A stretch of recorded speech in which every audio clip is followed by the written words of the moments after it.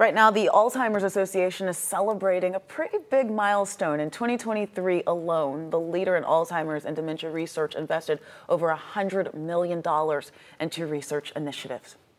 And this is the largest amount in any one year that we've ever invested in research.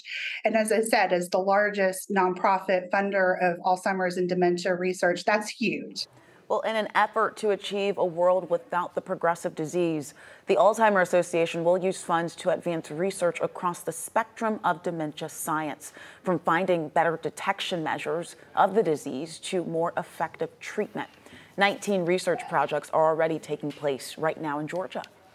We're particularly proud of the Georgia researchers that we're funding here locally. Those researchers are at academic institutions across the state, um, and uh, you know the the projects do range.